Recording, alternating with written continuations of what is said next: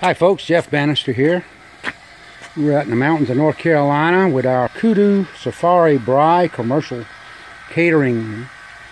We've got our lamb going. We've had it going on for two hours now. It's beautiful. Stuffed a little rosemary inside. Basting every 15 minutes. The motor seems to be doing great.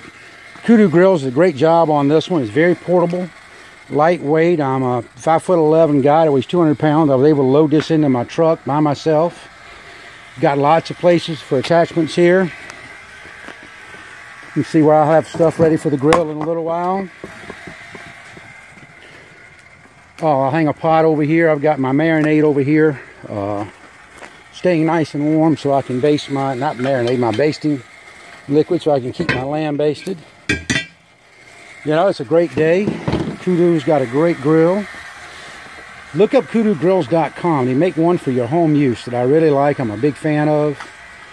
Uh, it's kudugrills.com. My name is Jeff Bannister. This is really one of the few uh, Bovinoche approved devices since it is an open fire cook. It's a braai. Some people in South America call it a asado. In America, we call it a grill. But guys, this is a great product. My website is I Cook Cows W-H-O-L-E, I cook whole.com. Kudu did a great job on this. Looking like it's going to be a great day. Be part of the Kudu Nation.